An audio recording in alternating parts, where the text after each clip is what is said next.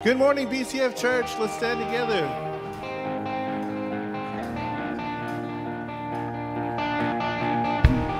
Let him turn it in your favor. Watch him work it for you.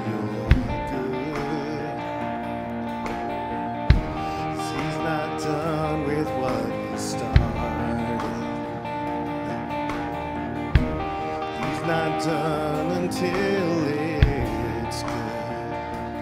Hello.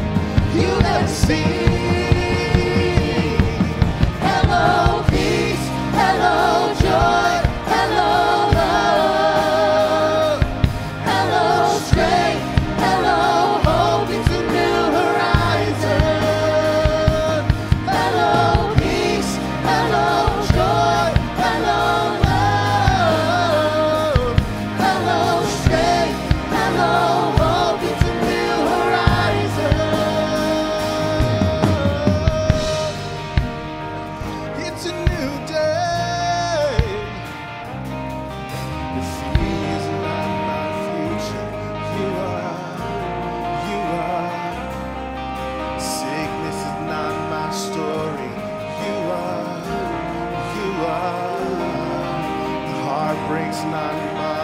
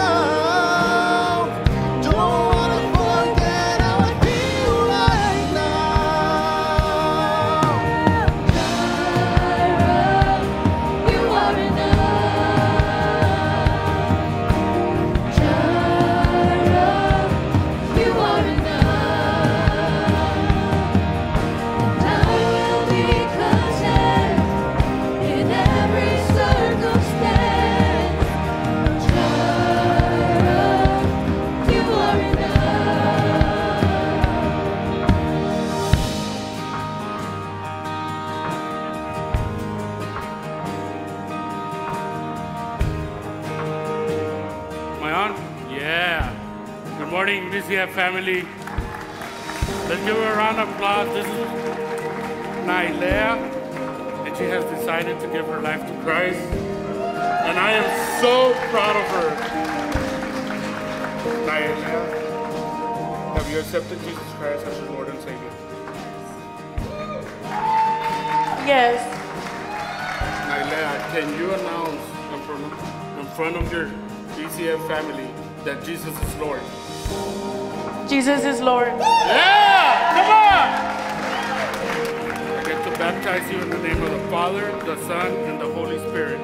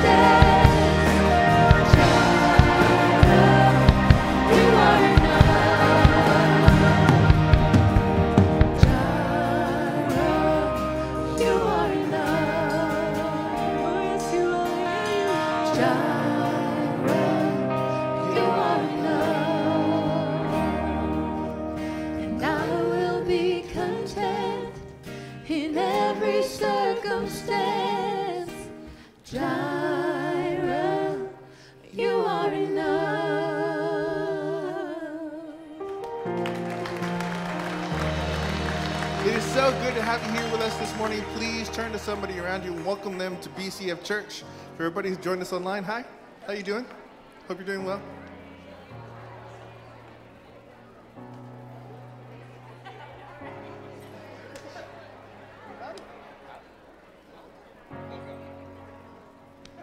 Welcome, welcome. Hey, you can have a seat for a moment when you get a chance. Uh, just show of hands, how many of you guys were at our Men and Meat barbecue last night? Man, we had about 80 guys out there on the land, and great message, and some of the most tender fajita I have ever had, and I am not exaggerating. And I know you ladies like, come on. La- Ladies, your time is coming. I want you to save the date, April 27th at 9:30 a.m. We're going to have a women's coffee talk right here. We'll be telling you more about it in the coming weeks, but for now, just save the date, put that in your calendar. Now, if you're our guest here today, maybe you've been coming for just a little while, you might be wondering, okay, what's the schedule here? When are they going to start talking about asking for my money because then I'm going to leave? Just chill. We are not passing any offering plates today. If you're a guest, don't even worry about it. Giving is for our church family. This is part of our way of saying, God, I love you. God, I trust you. I am committed to your people. I'm committed to building your kingdom. I, I believe in what is happening here, and I want to be a part of it. So we give through uh, our offering envelopes. We give online at bcfchurch.com or through our Church Center app. I did that just this week. And you can take this envelope, and when we're done today, you can drop it over in our prayer and giving center right over there, or in any of our giving boxes around the room. That's also where you can drop your connection card with your prayer requests, and we will pray for you this week. But if you're a guest, please don't feel any pressure. If you're a first time guest, we don't want anything from you. We want to give something to you. So when we're done today, stop by that table right there in the back where it says welcome, right back there. And when we're done, take your connection card over there, and we have a special gift to thank you for joining us today. Now, during this next song, you can stand, you can sit, you can raise your hands, you can close your eyes, but I want you to listen to the words and see if this expresses where you are and what you're feeling this week. Let's pray. Dear Jesus, thank you. Thank you for saving us. God, thank you. When, we needed you most, when we were, were chained in our sins, when we were surrounded by our struggles, you came to rescue us. Thank you, Jesus. We love you. Amen. Let's stand together. Oh, I've been desperate. Cried those loud prayers. Like Job on his knees, saying, Lord, I need more than a little help. I've been surrounded, felt fear on all sides. Like Daniel and the lions, I know when I fight, I don't fight by myself. When I needed rescue,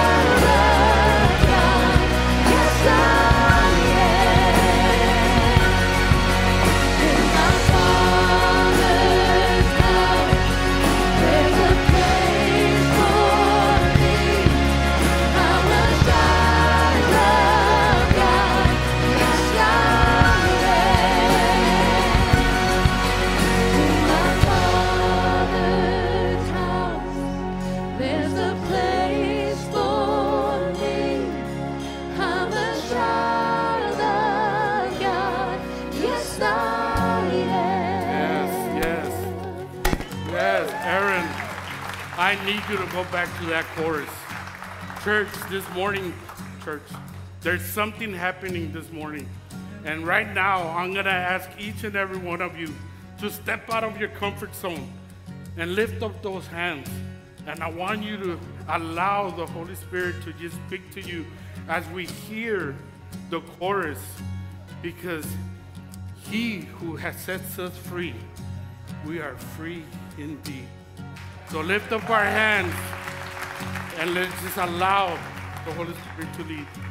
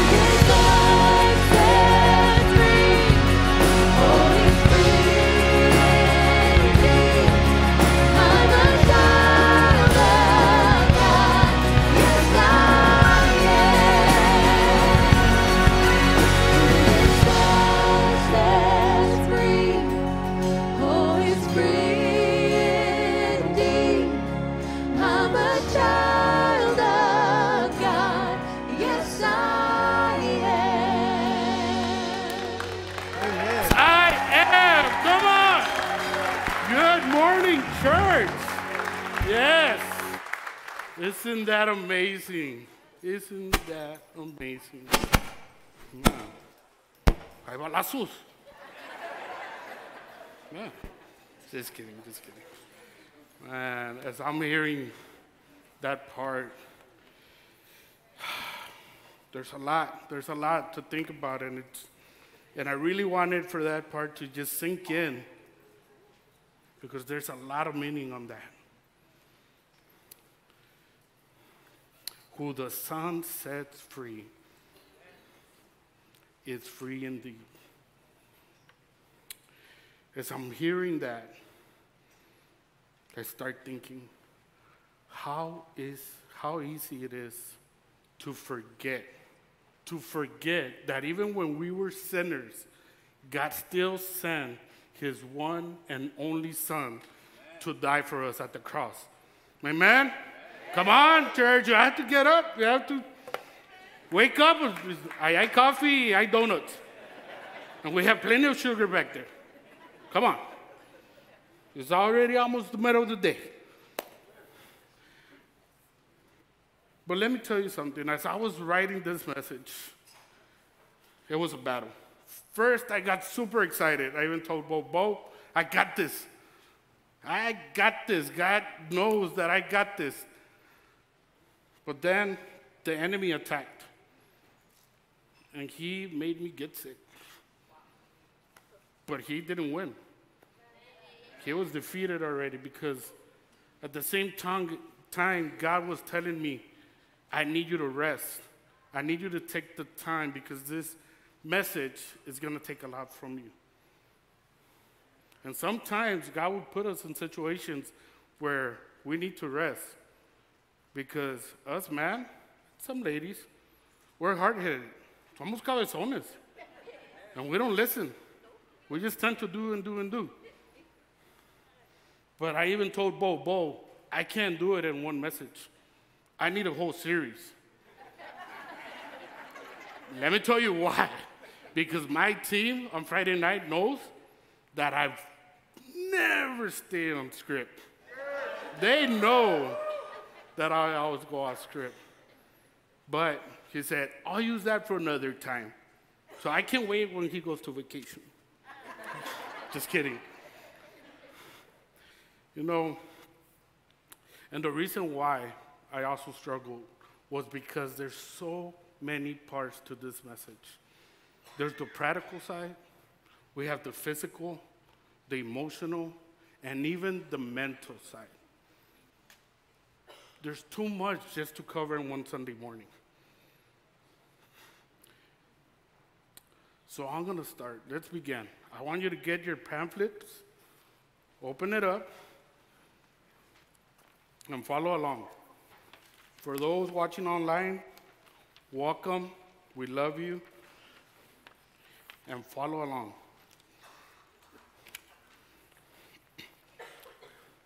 Look at this scripture. Read it. Let's, let's look at it together. They promise freedom, but they themselves are slaves to sin and corruption. For you are a slave to whatever controls you. Hmm. Unfortunately, that breaks my heart to see how many of us are still allowing, allowing the chains of addictions to have control over us, to have a stronghold over us. That we can't even break them just because we ourselves have given that power to them. But not just that power to control us, but also to define us. So I want to share with you how do we get to the point of addiction? Well, it starts with a hurt. And for some reason, the enemy's attacking right now, guys. So just bear with me.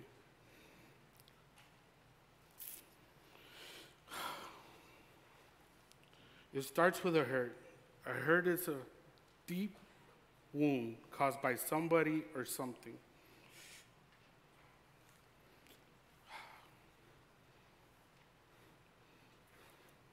Sorry, guys. From all the days, everything was going well. This is how the enemy works. He tries to defeat us by causing us and putting doubt.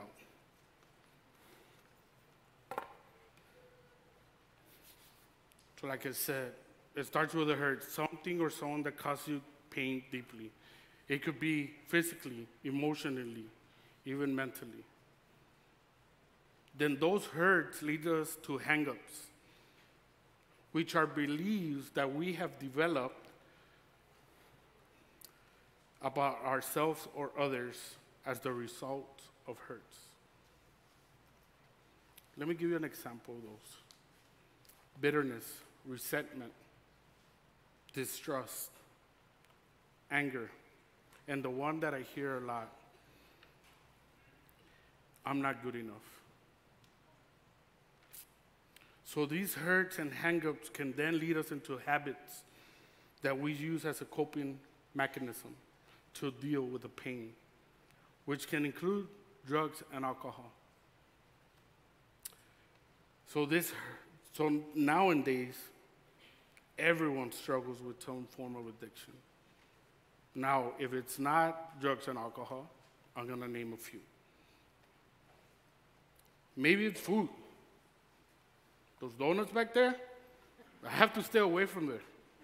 My wife is in charge, but I say, it, I'm sorry, I, I can't help you. I'll help you eat them. But that's something that I struggle with food. It could also be work, control issues, social media, exercise, relationship, sex, shopping, or even video games for those gamers out there. So this morning, I'm asking myself and I'm wondering how many of us are dealing with an addiction?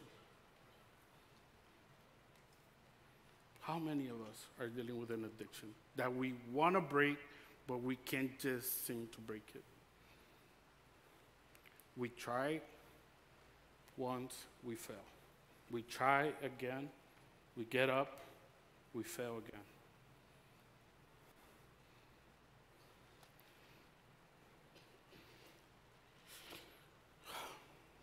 You know, if you are now saying, no, I don't have a problem, I'm good, guess what, guys? That's denial. And I'm going to tell you right now, we have a chair for you here every Friday night at 7 p.m. at Celebrate Recovery. Right? Oye, ¿están dormidos o qué? Y'all need to wake up. Come on. So we tried and failed, we tried and do it again, we tried and failed, that we get to the point where we make a deal with God, right? God, if you help me do this, I promise not to do blank again, right? The blank, you fill it in. That reminds me of my children. You know, I have three beautiful blessings, expensive but beautiful. you know, and I have my oldest, and she's the one that I, Dad, please let me go out with my friends. If you let me go out, I promise that I will do the dishes, I will clean the house, I would fold the clothes. I'm like, is that promise for me or for your mom? Because I don't do none of that. they promise you the whole world, right? But then they come back and you ask them, can you throw out the trash or can you clean? what happened? You just promised me everything. Now you don't want to do it? We forget. And then I have my mini me, my junior. And I call him my mini me because I can't deny him. He looks exactly like me. and he's the one that says, Dad, if you buy me this for my birthday, which is around the corner, I don't even want to know. You don't have to buy me anything for the rest of the year. Yeah. Not even Christmas. Right, not even a week passes by and he's already asking, Can I have this? Can I have that? Isn't that crazy how we forget?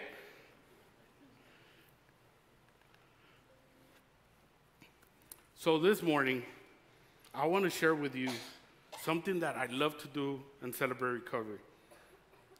This is an acrostic. And I want to share with you five biblical steps and look at how we can break these chains of addiction. And we're going to look at the acrostic break. So, please take your notes and let's follow along. Letter B begin today. Not tomorrow, not next week, not next month. Have you ever noticed that there's more people going on a diet tomorrow than today? right? Ah, I'll start tomorrow, especially on Sundays. I don't know why. Maybe because we have the cookies over there. But it's amazing. You see, I want to share with you a scripture. And it says, Don't brag about tomorrow, since you don't know what the day will bring. You see, he is warning us and instructing us to quit telling ourselves one of these days. Stop postponing. The longer you wait, the harder it's gonna get to change. Now, if you're ra- waiting for the right moment, guess what? Man knows it's never gonna happen. Don't be like the farmer. Look at what the Bible tells us. Farmers who wait for perfect weather never plant. If they watch every cloud, they never harvest. So, once again, if you wait for the perfect condition, you'll never get it done. So, what's your excuse?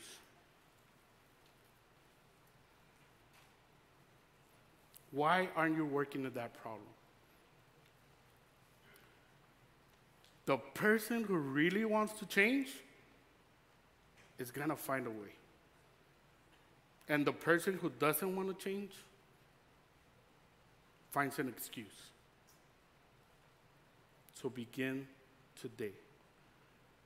Letter R refuse to blame others. This is my favorite. This is my favorite. This is a problem that has been happening way back, all the way to Adam and Eve. You know, Adam sinned, right? And Adam took it like a man.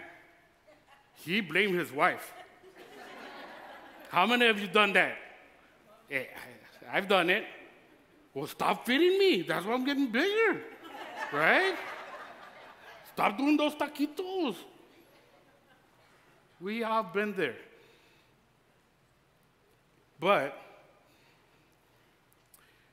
we'll never get better until we take personal responsibility.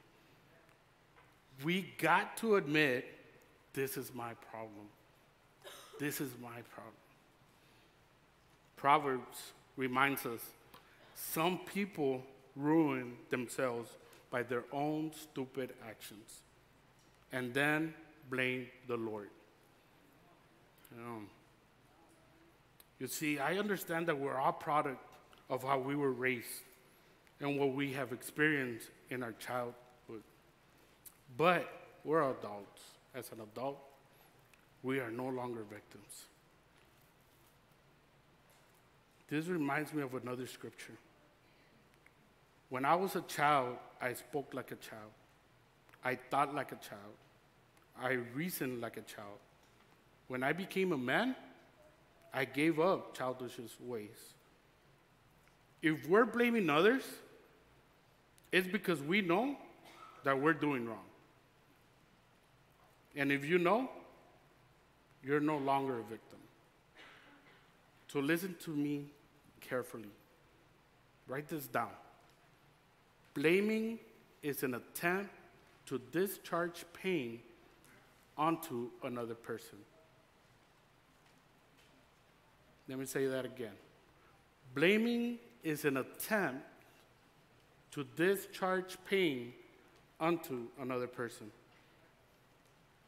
So, who are you blaming for your problems?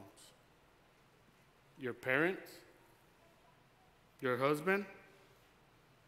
Your wife? Your kids?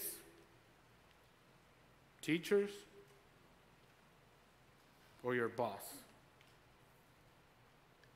Or we might be even just saying, well, the devil made me do it. Mm-hmm. It's God's fault. He allowed it. You see, when you blame others but yourself, you're just being lame. You get it? Take the B out of blame, you become lame. Uh, ha ha ha ha, come on. Come on. Double the scoops on those coffees, please. They need it. Man, tough crowd today. So we need to stop. We've got to quit making excuses for ourselves and stop accusing others. Letter E examine my life. Hmm. Something that I've learned in CR is that I need to take the time to do a personal inventory. I do an internal audit, an honest evaluation.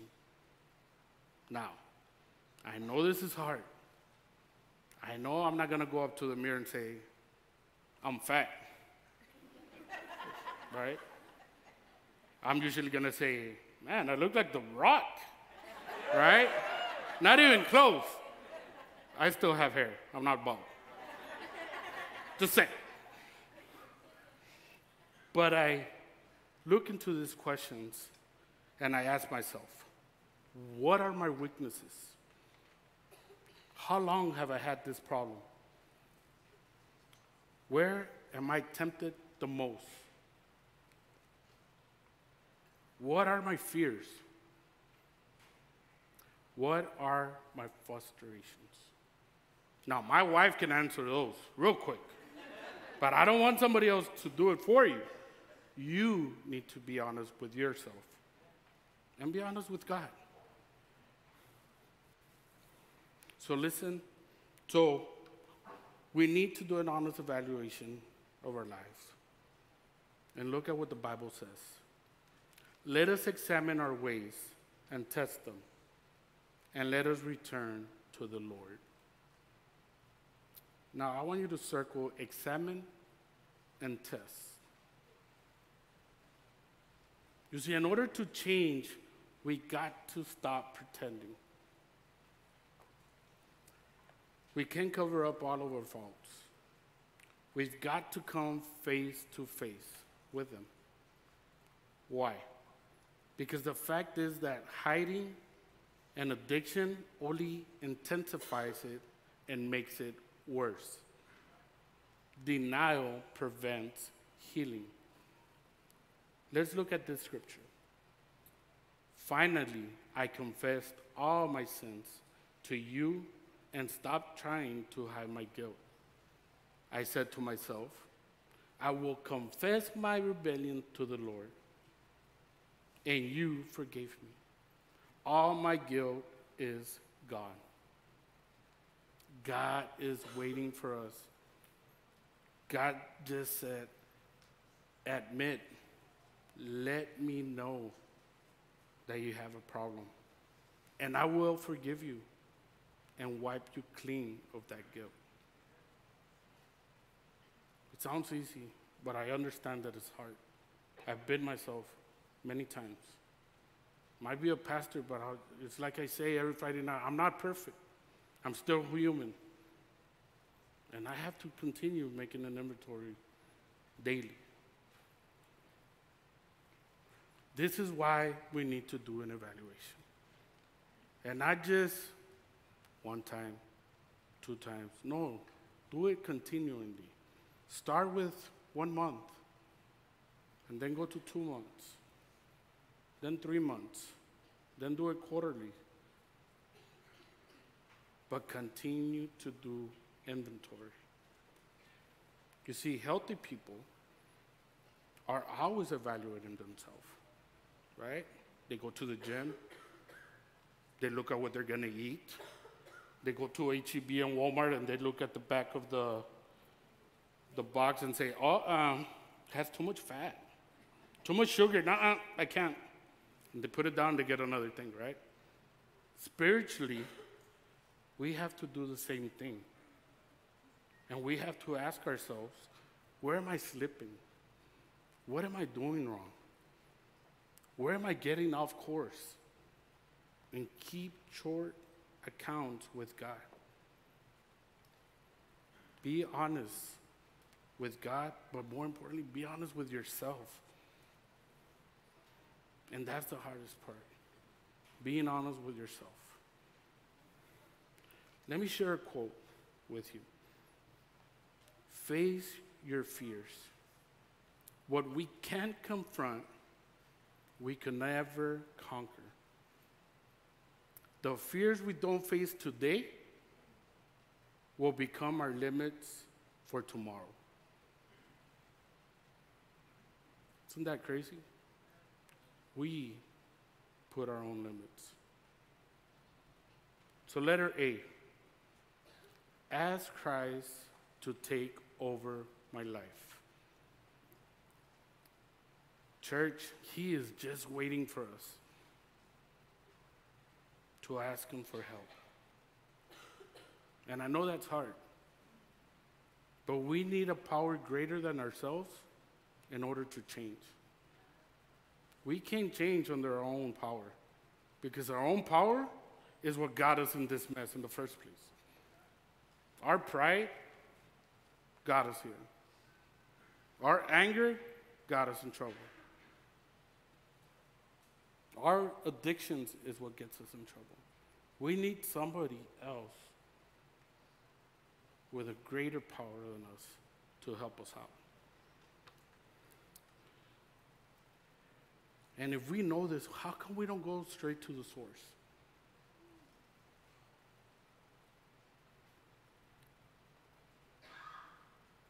Let's look at this scripture.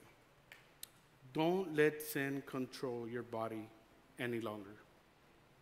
Don't give in to sinful desires, but give yourself completely to God. Every part of you to be used for His good purpose. Mm. Every part of you. That means you can't have one foot in, one foot out. Now, don't get scared. I've practiced this every Friday night. I'm always at the edge. so, foundation. Somebody's help. If I put it over here, I don't have any help. That's my power. So if I step in my own power, what's going to happen? Yes. So you can't have one foot in, one foot out. Ooh, I'm already shaking. you can't. You have to completely give yourself. All. So every day we're controlled by something. It could be people, other time schedules, drugs, alcohol, and food. And those are just examples.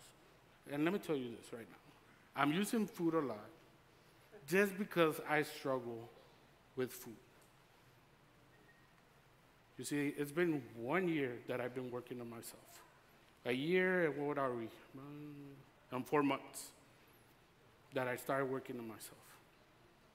I've gone from 320 pounds, hold on, 320 pounds to 260 pounds. Isn't that amazing? Praise the Lord. This shirt didn't even fit. Everybody thinks it's new. No, I had it in my closet for years. Just didn't close. But I could have not done it by myself. I needed help. And instead of having something else control our lives, we have to say, I'm going to have God control my life. And that's where the real freedom takes place. Let's go back to the scripture. And let's circle the word completely. Completely.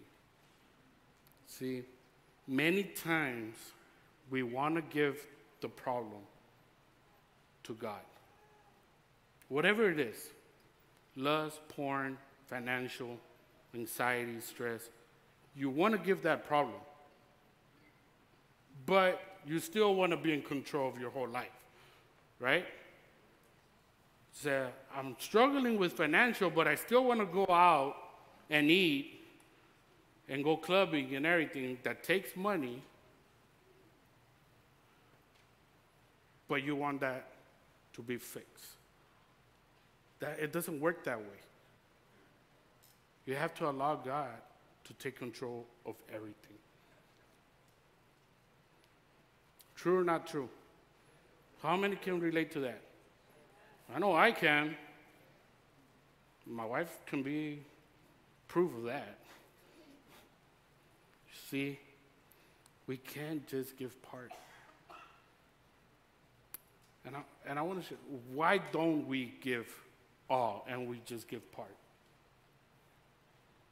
Well, the reason why is because we are afraid. Nambre pastor, I'm not scared. No, pastor, I'm not scared. No tengo miedo. Guess what? Man, we are scared.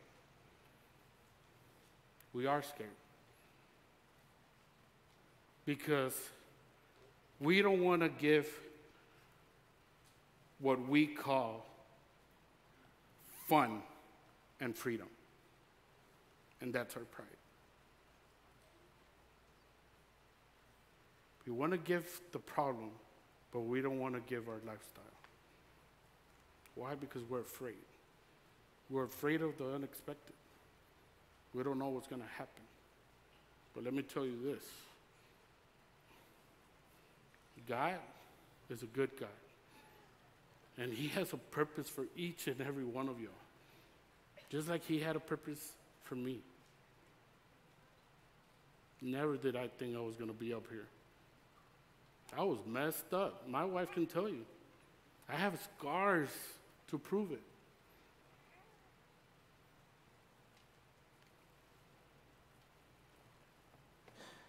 Jesus said, I have come that you might have life and have it in abundantly. You matter to God. So we need to relax and let God take the wheel. The Bible says that God is for you, not against you. You see, when I was in jail, for those that don't know my testimony, I had to surrender myself. I didn't have a choice. I was about to get deported, but most importantly, I was going to lose my daughter, my family. And at that time, I hit rock bottom. Now, for me, it just took one day at jail. One day, one night. But that was the night that everything changed. Because that was the night where I literally fell on my knees. I lifted my hands and say, Lord, I'm tired. I'm done with this. I don't know what else to do. Please take over. My pride was broken. And from that moment on, God turned my mess into a message. And He wants to do the same thing for you. And the crazy thing about this is that all my charges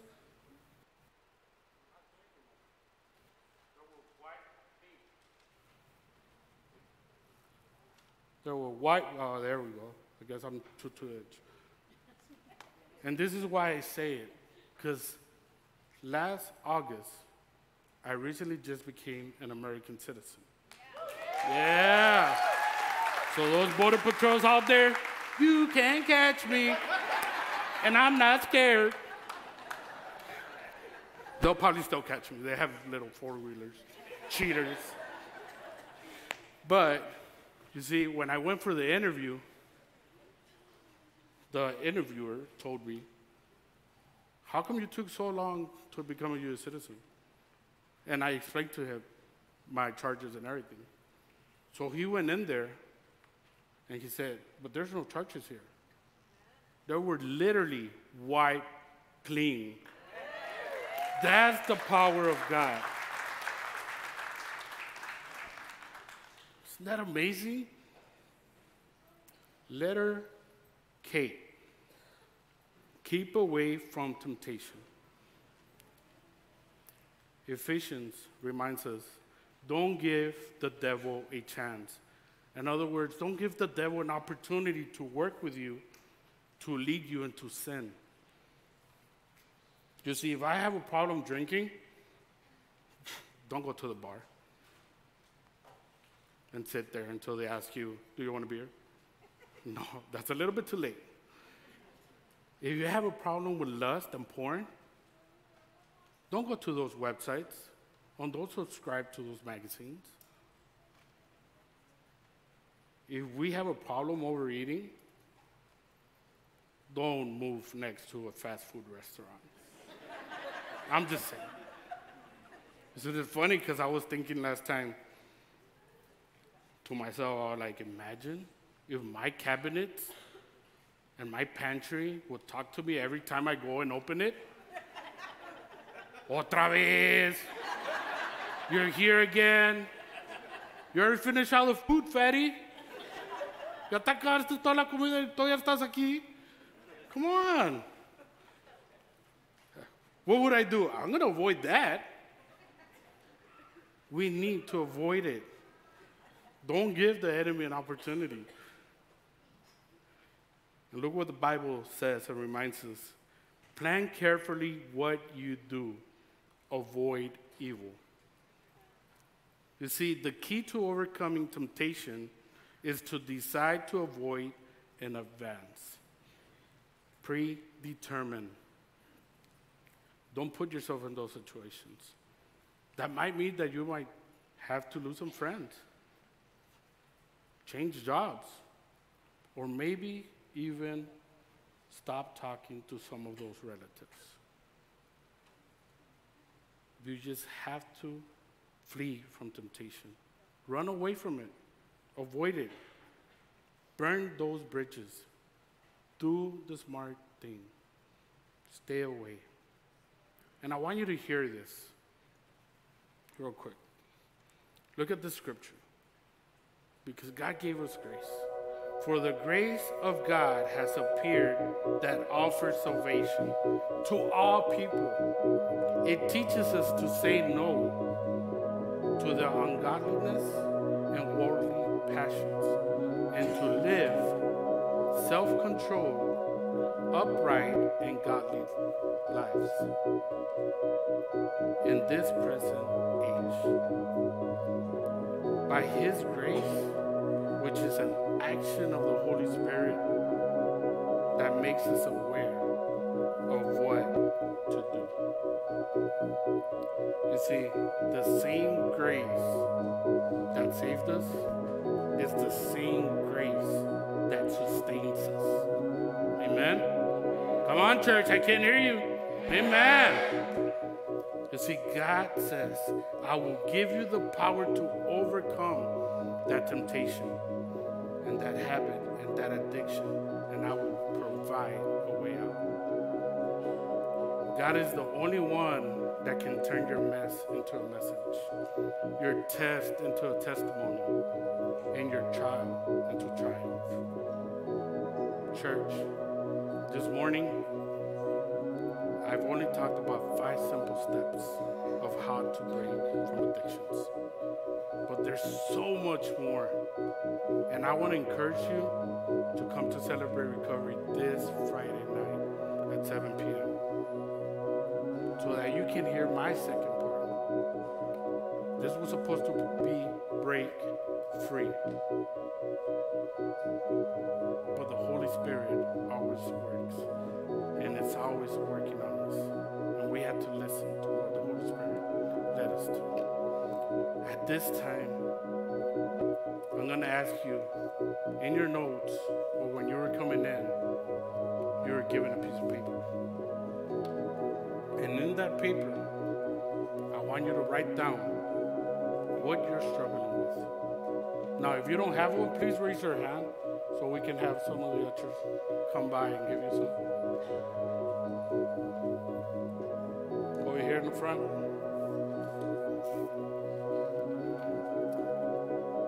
Then I'm going to ask you to come on down, take a nail, and nail it to the cross. The Bible says, then Jesus said to his disciples, Whoever wants to be my disciple must deny themselves and take up their cross and follow me. As we nail our struggles and addictions to the cross, we are now denying ourselves. And we're saying, God, I choose you. I choose to follow you by nailing these passions and these desires on the cross. We are surrendering that same thing that has a stronghold on us. And we are now letting God take control. This is where it starts. Stepping out of denial to break the chains of addiction. So at this moment, I want you to stand up. Come on, stand up. Don't be shy, stand up. Stand up. And as you're hearing this last song and you hear the lyrics, ask God to help you see and allow the Holy Spirit to lead you to write it down, that piece of paper, so that we can come up here and nail it to the cross.